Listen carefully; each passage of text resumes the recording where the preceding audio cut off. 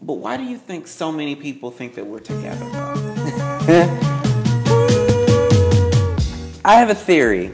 I, I think it's one, visually, we complement each other.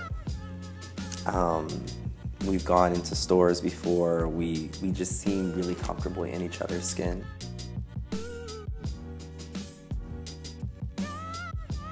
I think you're comfortable in who you are. I'm comfortable in who I am. and when we're around each other, it sounded really sexual. But when we're around each other, there is this compa- not compatibility. What's the word I want to want to use? We complement each other. We do. I think that we're not competing with each other. That's the word I was looking for. I knew it was Okay. a c word. There's no competition. I don't feel threatened by you. I don't think you feel threatened by me. And I think that when two people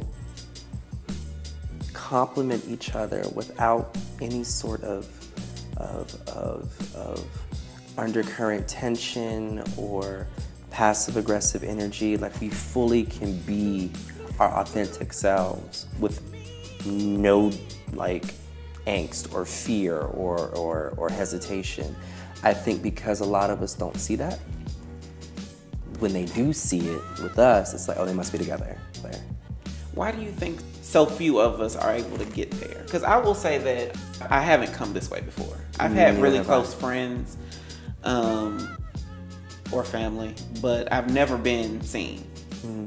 Like, why do you think our culture doesn't create a space for us to see each other? Well, I think we are conditioned to be in competition. We're always trying to. Who is the we you're talking about? Black gay men specifically, um, granted, all gay men, but specifically in this particular conversation, I mean shades of brown.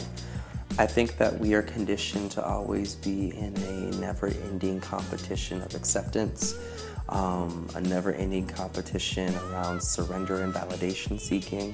And I think that for a lot of us, we, before I make that statement, those of us who were not raised in affirming households and families and, and, and, and, environments, we have this inherent I need to prove something ideology. We need to prove the validity of who we are, and that manifests in our academic achievements, it manifests in the type of jobs we seek, it manifests in the type of social networks we desire access to, um, the way we dress, where we live, um, how we express. All of those things can be reduced down to a simple fact of, of, of a need for acceptance.